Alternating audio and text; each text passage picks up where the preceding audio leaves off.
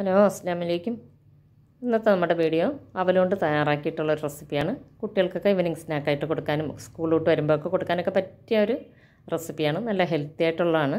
ഇത് അധികം ആൾക്കാർക്കും അറിയുന്നതായിരിക്കും. എന്നാലും അറിയാത്തവർക്ക് വേണ്ടിയിട്ടാണ് ഈ ഒരു റെസിപ്പി. ഇത് നമുക്ക് ദിവസങ്ങളോളം സൂക്ഷിച്ച് വയ്ക്കാൻ പറ്റും. നമ്മൾ വൈകുന്നേരമൊക്കെ അവൽ നനയ്ക്കുകയാണെങ്കിൽ എന്നും നനയ്ക്കണ്ടേ? ഇത് നമുക്ക് ഇതുപോലെ ചെയ്ത് വെക്കുകയാണെങ്കിൽ ഒരാഴ്ച രണ്ടാഴ്ച ഒക്കെ നമുക്കിത് സൂക്ഷിച്ച് വയ്ക്കാൻ പറ്റും. കേടാകാതെ തന്നെ നമുക്ക് ഉപയോഗിക്കാൻ പറ്റും.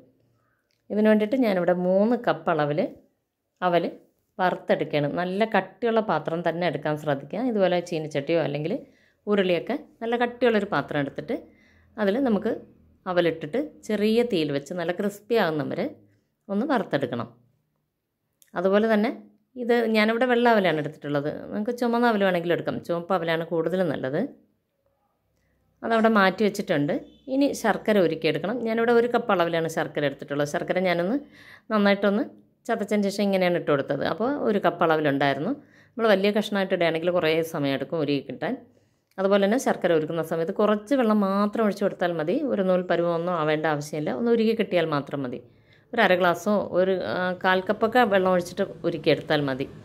അതും ഒരു സൈഡിലേക്ക് മാറ്റി വെച്ചിട്ടുണ്ട്.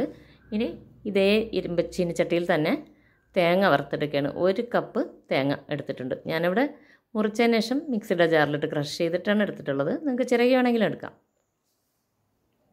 അതുപോലെ തന്നെ നല്ല ഉണക്ക തേങ്ങ ഉണ്ടെങ്കിൽ അത് എടുക്കുന്നതായിരിക്കും കൂടുതൽ നല്ലത്. ഉണക്ക തേങ്ങ ഉണ്ടെങ്കിൽ അത് ചെറുതായിട്ട് മുറിച്ച് മിക്സിയുടെ ജാറിലിട്ടൊന്ന് പിടിച്ചതിന് ശേഷം വറുത്തെടുക്കാം. അപ്പോൾ പെട്ടെന്ന് തന്നെ ഡ്രൈ ആയി കിട്ടും. പിന്നെ ഡെസിക്കേറ്റ് കോക്കനട്ട് അത് എടുക്കാൻ എടുത്താലും കുഴപ്പമൊന്നുമില്ല.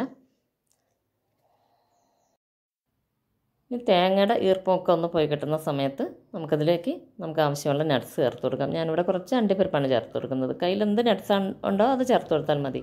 കപ്പലണ്ടിയോ അല്ലെങ്കിൽ പൊരികടലയോ ഏത് വേണമെങ്കിലും ചേർത്ത് കൊടുക്കാം. ഇനി തേങ്ങയുടെ മുഴുവൻ ഈർപ്പവും പോയി കിട്ടണം. നല്ലൊരു ക്രിസ്പി ആയിട്ട് കിട്ടണം. അങ്ങനെ കിട്ടുന്നത് എന്താണെന്ന് വെച്ചാൽ നമ്മളിങ്ങനെ ചെയ്യുമ്പോഴാണ് ഇത് കേടുകൂടാതിരിക്കുന്നത്. തേങ്ങയിൽ ഈർപ്പമൊക്കെ ഉണ്ടെങ്കിൽ പെട്ടെന്ന് കേടായി പോകും. ഇനി ഇതിലേക്ക് അരിച്ചു വെച്ചിട്ടുള്ള ശർക്കരയില്ലേ ഉരുക്കി അരിച്ചു വെച്ചിട്ടുള്ള ശർക്കരയാണ് അത് ഒഴിച്ചു കൊടുക്കാം. അതുപോലെ തന്നെ പ്രത്യേകം ശ്രദ്ധിക്കേണ്ടത് ശർക്കരയിൽ കൂടുതൽ വെള്ളം എടുത്ത് ഒഴിച്ചു കൊടുക്കരുത്. കുറച്ച് വെള്ളം ഒഴിച്ച് വേണം നിങ്ങൾ ഉരുക്കിയെടുക്കാനായിട്ട്. ഇതും കൂടെ ചേർത്ത് നന്നായിട്ട് ഒന്നും കൂടെ ഇളക്കി കൊടുക്കാം. ഒരു ഒന്ന് രണ്ട് മിനിറ്റ് നേരം ഇളക്കിയതിന് ശേഷം വറുത്ത് വെച്ചിട്ടുള്ള അവലൂടെ ഇതിലേക്ക് ചേർത്ത് കൊടുക്കാം. വളരെ സിമ്പിളായിട്ട് നമുക്ക് ചെയ്തെടുക്കാൻ പറ്റുന്നതാണ്. അതേസമയം നല്ല ടേസ്റ്റാണ്. ഇത് നല്ല ക്രിസ്പി ആയിട്ടിരിക്കും. നല്ല ടേസ്റ്റാണ്.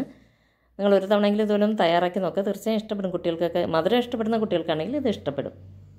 ഇപ്പം ഞാനിതിലേക്ക് അവൽ തട്ടി കൊടുത്തിട്ടുണ്ട്. ഇനി ഒരു ഒന്ന് രണ്ട് മിനിറ്റ് നേരം കൂടെ അവൽ ഈ ശർക്കരയിൽ നന്നായിട്ട് പൊതിഞ്ഞ് കിട്ടണം കിട്ടുന്നത് വരെ നന്നായിട്ടൊന്ന് ഇളക്കി കൊടുക്കാം.